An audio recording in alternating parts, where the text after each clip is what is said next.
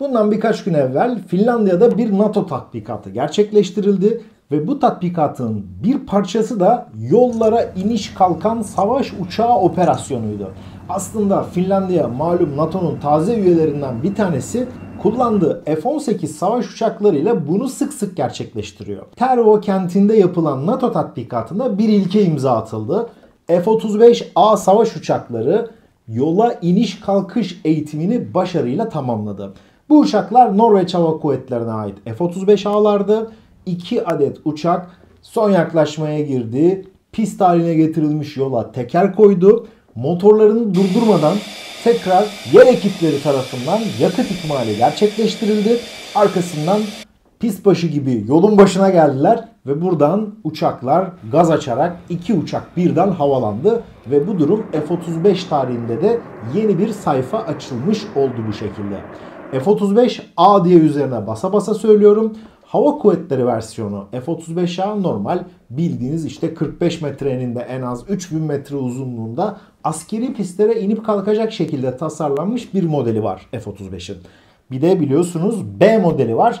Türkiye'de TCG Anadolu için bu uçakları planlıyordu ancak Amerika tarafından e, F-35 programından çıkartıldık. F-35B ise dikine iniş özelliğine sahip, kısa kalkış özelliğine sahip. Bir de biliyorsunuz F-35C var. O da donanma modeli. Katapult sistemiyle birlikte uçak adeta mancının ucuna konmuş bir sapanın ucuna çekip atılıyor gövdeden ve bu şekilde kalkışını gerçekleştiriliyor. Peki bu pistlerin özelliği nedir?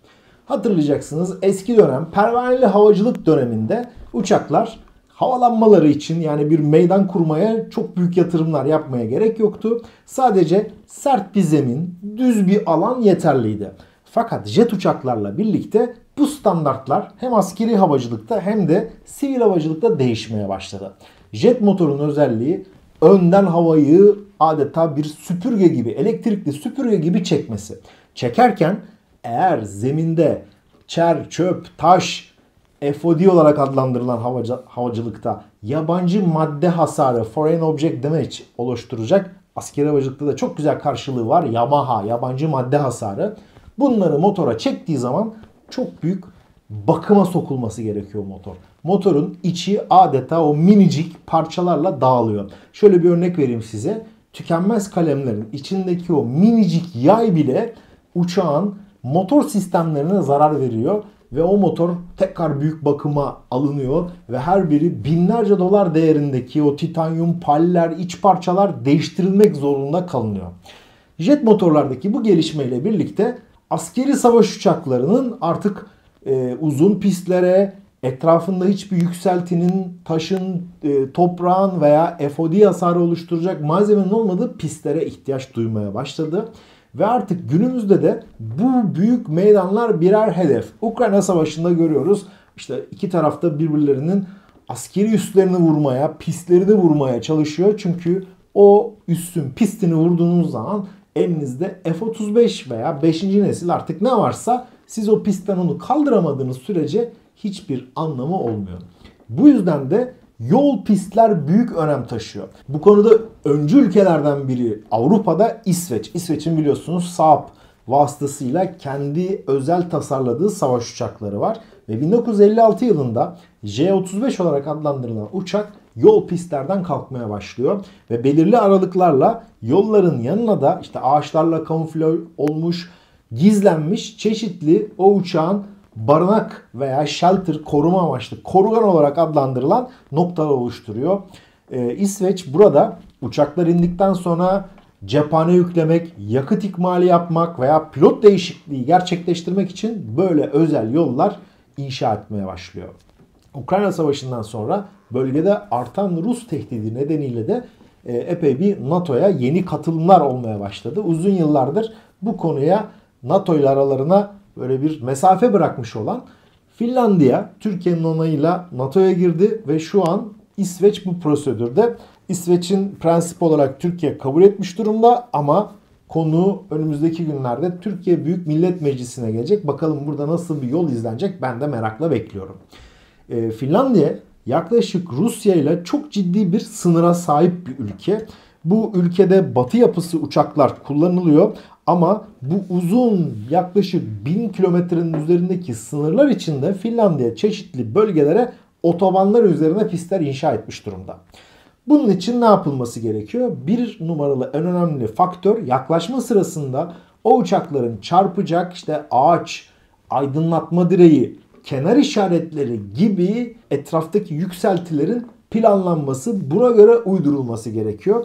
Eğer bu minicik bir ağaç, bir işte yolun ortasında bir su bendi gibi durumlar olduğu zaman uçak açısından bu bir emniyetsiz bir durum. Adeta oradaki inşa edilmiş yollar bir pist standardına geliyor. Sonrasında pistin özelliği yani zemini geliyor. Savaş uçaklarının ağırlıkları yaklaşık işte 10 ton ve üzeri büyük uçaklar oldukça ağır. Uçak büyük bir hızda teker koyduğu zaman o tekerinin baskı oluşturduğu büyük yüke dayanması gerekiyor. Yani buraların birer pist standartlarında inşa edilmesi gerekiyor. İşte buna göre alt zeminine beton dökülmesi, üstüne asfalt veya yol betonsa farklı standartlar bu standartlara göre ayarlanması gerekiyor. Genellikle de bu bölgelerde o yollar normal bildiğimiz çizgiler değişiyor ve adeta sarı veya beyaz çizgiyle bir pist görünümü içerisinde de yer alıyor. Türkiye'de de böyle Türk Hava Kuvvetleri'nin kullandığı, geçmişte de kullandığı, günümüzde de kullandığı çeşitli yollar her NATO ülkesi gibi Türkiye'de de var. Acil bir durumda, üstlerin vurulması durumunda bu uçakların buraya iniş kalkış planları var ve buna göre pilotlar inişlerini bu tür yerlere yaparak uçakların gizlenmesi ve tekrar operasyonel olmasını sağlıyor. Ki benzer bir durum günümüzde Ukrayna'da da devam ediyor. Bu açıdan zaman zaman ortaya çıkan bu ilginç görüntüler ki geçmişte de vardı bu. İşte o dönemler Soğuk Savaş döneminde Batı Almanya'da uçaklar, tornadolar, A-10'lar, farklı farklı uçaklar inip kalkıyordu. Günümüzde de bu olay devam ediyor. Hatta onun arkasına da şöyle bir video ile ilgili araştırma yaparken şunu da buldum. Daha dün İngiliz Kraliyet Hava Kuvvetleri'nin Eurofighter'ları onlar da Finlandiya'ya gitmişler. F-35'lerin arkasından İngiliz Eurofighter'ları ilk defa yola iniş kalkış eğitimini Finlandiya'da gerçekleştirmişler. Bu da onlar açısından bir ilk olmuş. Şimdi bu askeri videoyu bir sivil konuya doğru bağlayalım. Hatırlayacaksınız geçtiğimiz günlerde Rusya'da Ural Hava Yolları'na ait bir Airbus A320 tipi yolcu uçağının yaşadığı teknik sorunlar sonrasında boş bir alana inmesiyle ilgili size bir video paylaşmıştım. Bu videonun da linkini yukarıya bırakıyorum. Bu uçak Soçi'den kalkıyor. Novosibirsk'e gidiyor. Fakat uçuş sırasında yaklaşık rotanın yarısında bir hidrolik problem oluyor. Ve en yakındaki meydana iniş planlıyor pilotlar. Fakat o meydanın kısa olması ve duramayacaklarını öngördükleri için yola iniş takımları açık bir şekilde devam ediyorlar. Alçak irtifadan devam ediyorlar. Bu durumda uçağın çok hızlı yakıt tüketimini arttırıyor ve Novosibirsk'e yetişemeyeceklerini görüyorlar. Yaklaşık 200 kilometre mesafe kala başka bir meydan da yok etrafta.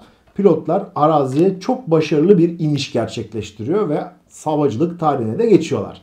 Hatırlayacaksınız bundan birkaç yıl evvel de yine Ural Hava Yolları'na ait Airbus A321 kalkışta kuş sürüsüne girmişti ve iki motorun da kaybedilmesi üzerine uçağı pilotlar Mısır tarlasına indirmişti. Çok basit bir iki yaralanma dışında yolculara ve mürettebata hiçbir şey olmamıştı. Bir kayıp olmamıştı. Bu havacılık tarihi için çok önemliydi.